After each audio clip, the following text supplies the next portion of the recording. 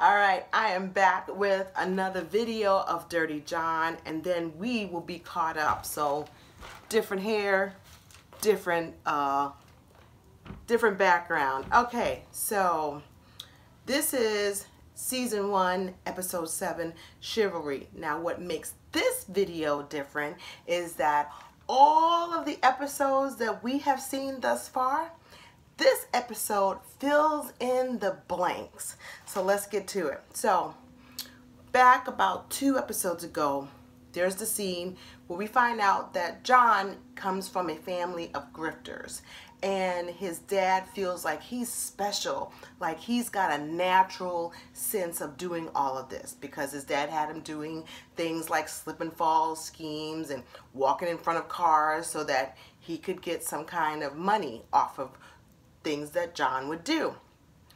One thing that his dad told him was that if someone uh, double cross you, don't go after the person who betrayed you. You go after their family. So that's how the scene opens. And keep that in mind because we're going to see where that all plays out. Now, we're in California. Remember, he leaves Ohio. He's relocating to California. He gets his RV out of the compound. And now he is on the hunt. Remember, we didn't know who John was in the beginning. We just knew that he was a doctor. But now here it comes fill in the blanks. Now he's in the RV in, in California. He's getting high and he is on the hunt. He's looking for a mark because he's a grifter.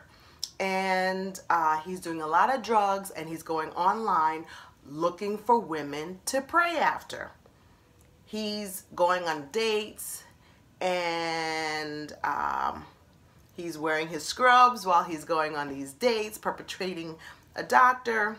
And uh, you know he's he's it's not it's not working out. One uh, one of the dates that he went on was a no go because she has two older brothers who are cops. So he's like absolutely not and then uh, he went on a couple of other dates and then he uh, was trying to uh, he was trying to, you know, make things work out. It's not working out. And this is where he runs into Deborah.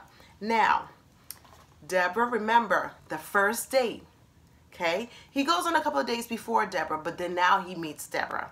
So you got to go way back to the first episodes. He meets Deborah. They're having great chemistry. He goes back to, you know, he meets her at her house. And this is when he finds out that, you know, this woman has money. He meets Ronnie, the daughter. And first, uh, first time they think he thinks that he's going to get it on with her. Deborah gets cold feet and asks him to leave. He has this huge temper tantrum. He has a temper tantrum. He tries to call the girl. He's like, I know it's late. And she's like, I've called every hospital. You are a liar. This woman did her homework. So she went, she, she really escaped a whole lot of, a whole lot of crap. And so he decides, okay, I, I got to regroup. So he's busy calling women, doing drugs in between that. And it's so funny for community service, he has to wash the cop cars. And while he's doing this, he's reciting his apology that he's going to give Deborah. Now remember, um, she's thinking that this was a bad date and she's never going to see this guy again, but he calls and he says how much he's a jerk and that, you know, you know, uh, you know, you do this online dating and, and, and you, you this person looks like they're going to be so great you know, on, you know, online and you transfer and you meet them, they don't look the same. They don't, they, they're just a disappointment. And it was just, you know, something that I found someone who looked and did what they said online and in person and I messed up. He had been reciting all that while he's washing the cop cars for community service, which I thought was funny. Now, so um, he gets that. Two years prior, he they go back. They do a little flashback where he's trying to whack off his ex-wife and the cops and everybody else that got him in jail. But nothing ever really comes from that. So, fast forward. You got to think about in the mental Rolodex. He's wearing his scrubs to that fancy party. Um, he's busy making her smoothies. He's doing all of this to groom her so that sh she will fall in love with him. Meanwhile, while he's doing and all his wining and dining and, and schmoozing, he's reading her eight emails. Um, he's taking her money. Remember, she had $80,000 in cash in our, in our house. He took that. Um, now he's driving the Maserati. And meanwhile, he's going to his AA meetings and he lets the AA people know that he's gotten married. Now, here's some of the dirty stuff that you didn't know. While he's doing all this, you know, because he has to do all these things with his uh, uh, PO. Oh my God. Okay, I was like, what? Okay, so there's a scene with the AA guy the AA guy is he's dirty too. So, you know, John is doing his thing and um, he's like, listen, you need to sign my card for court. And the guy is kind of mad because he finds out that John got married. We're like, I'm wondering, like, why is he pouting? Like, what is his problem? Well, honey, what ended up happening is that John is busy screwing the AA counselor he's like, you know, I don't always do dudes, but, you know, pretty much telling the guy that he's got moves like Jagger and he's been filming him. Oh, meanwhile, he's blackmailing some women in between that. So all those charges that you saw in the in the past, yeah, he's still on that thing. So he's like, yeah, you need to go and uh, leak out the lizard, meaning he needs to pee in the cup so that John will test clean because John's dirty. He's dirty and he's got dirty pee. So the AA guy is busy uh, having sex with John, um, getting drugs. He's giving John money for the drugs, and he's being blackmailed. I didn't see that coming. He's like, I normally don't do guys. I was like, what? I guess. So, um, John is at a hotel. He has a junkie friend he tells the junkie friend, this is what I want you to do. Now, remember when they were at the beach house? Because he's like, I would really love to give you this. And she's like, well, I can do it. And she goes and she gives the, um, the owners like 120000 to rent the house, the beach house. Well, that strange woman that came in the house and met her in her in her closet and he uh you know was trying to be the the man the protector that was all orchestrated and planned. John got this junkie girl at a hotel, told her exactly where to go, told her exactly what to do, and oh, that creepy thing where she was going to be talked, that was her little magic touch to it. While she's smoking on the crack pipe, they came up with this idea. Now, uh, remember the time where John was being Santa for Christmas? John is busy schmoozing Deborah's mom, who's a piece of work.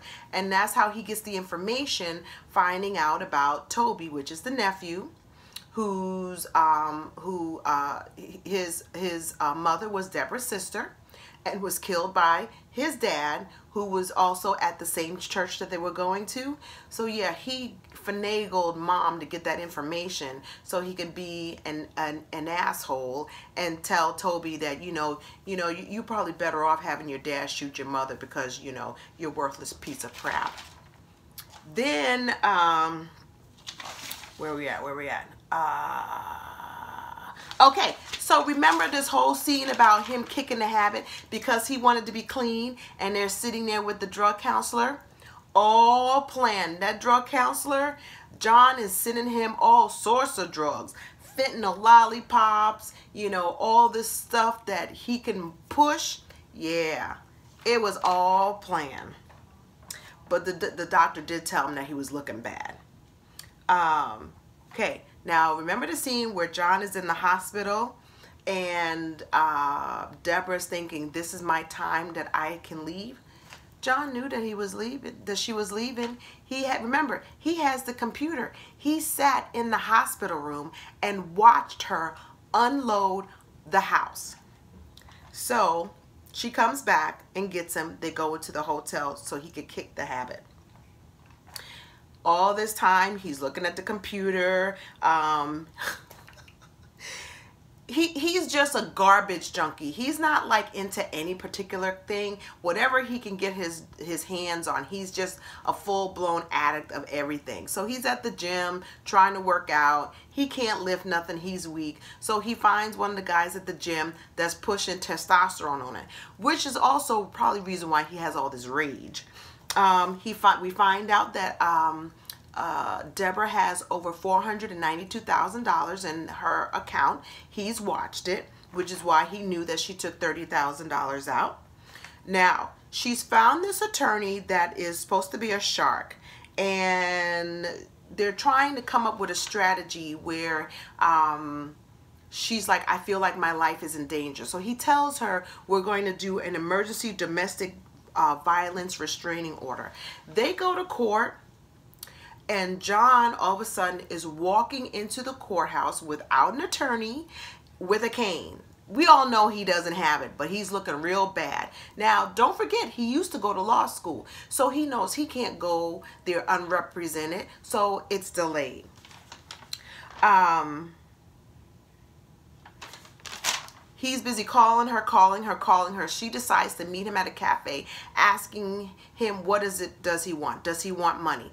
Now the attorney is pissed because he's like, wait a minute, you we just went to the court saying that you are in danger, you're afraid of him, but you met him and you asked him if he wants money. Now we can't use the domestic uh, violence restraining order. So he's trying to think of something else. Um, Oh, he gets the car, the Maserati, he sets it on fire. Now, the, they're trying to figure out, you know, how can we use this as a threat? And he's like, he's explaining it away. He's very charismatic. Charismatic. He's like, listen, uh, she's a witch and we're supposed to have an agreement when I can get the car. I saw the car at her place. I had a fob because we're still married and it's still our property. I took the car. I went to an AA meeting. No, I wasn't at the church. I had to park outside around the corner from the church. When I came out, it was gone. He torched that car on fire. Now, we're not sure why he did it, but because she's like, what was the point of it? Because he loved that car. Mm, maybe because he's just a son of a bitch, right? Um, she never gets the posting up. And I think that's going to be a problem. And like I said, she's baffled because she doesn't know if it's a sign, it's a warning, or what. Now, um, this is where it ends. I know I'm going real fast, but this episode was just really filling in the holes of all the things we have seen and really getting into the deviousness that is of John. Now, remember, he doesn't like it when people walk away from him. Remember when his sister kind of like challenged him, he was going to make her life miserable. He's on the path now that since you're not going to be with me, I'm going to make your life miserable. And the see the scene um the episode ends where he's in the RV and he's got all of these tools. Now, it goes back and forth. The part where he's they're sitting at the precinct because the car is torched. And she's talking to the attorney wondering what is he up to? Why would he torch the car? The car, he loved driving that car. We've got great memories of that car. And that really pisses me off that she, even in the midst of all this, she still has this fawning, lovingly nostalgic ideal of who John is. And he's a psychopath. Anyway, he's sitting in the RV. He's got all of these tools of knives and screwdrivers and all this like it's his kit. He ends up taking all of these various things that we know that he's going to probably use on someone and he leaves the RV. Where he's going, we don't know because it's at night and that's how it ends. You're in trouble, girl. I haven't said that in a while, right? You're in trouble, girl.